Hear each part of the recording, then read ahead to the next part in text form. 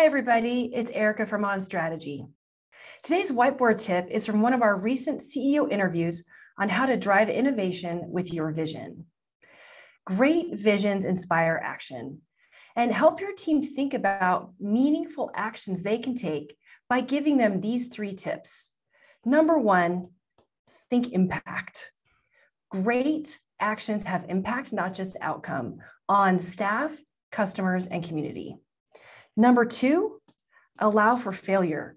Not everything's going to work, so allow people to explore and test.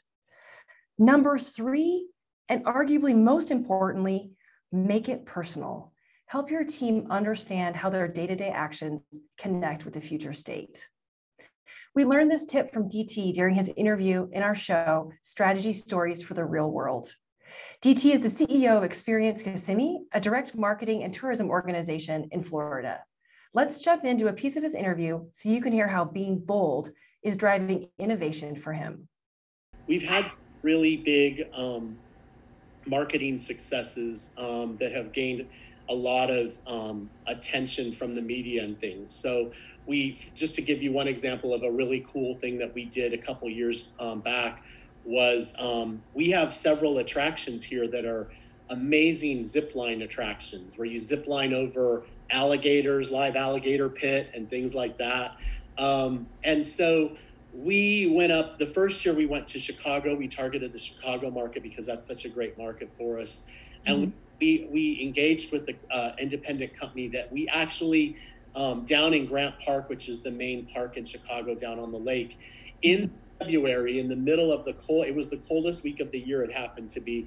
And we built a massive zip line in downtown Chicago.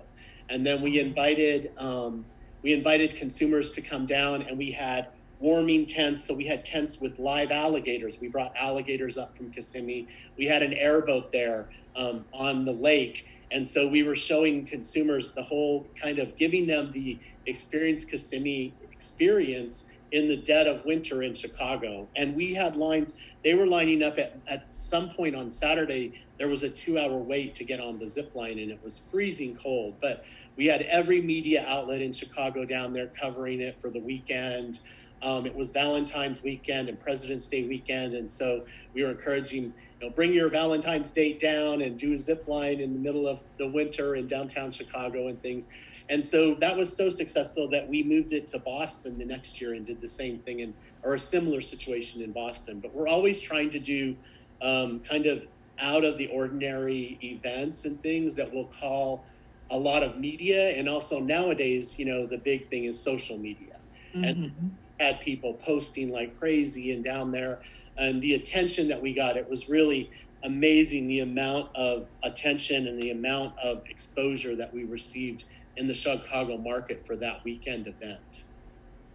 That is such a cool event. I've been to grant park. I've also been to chicago in the dead of winter so i can see why that drew a lot of attention. That is phenomenal. We did we also did we, we didn't charge for them to ride on the zip line, mm-hmm. but encourage people to bring um, winter coats to donate if they had old winter coats and, for the homeless. And yeah. we we were able in that weekend we we were we collected over a thousand winter coats that we donated back to the community to the homeless to, to help with the homeless in, in the winter time in Chicago. So it was a really, it was not only a great event to market our destination, but mm-hmm. a great event to give back to one of our key top tourism markets.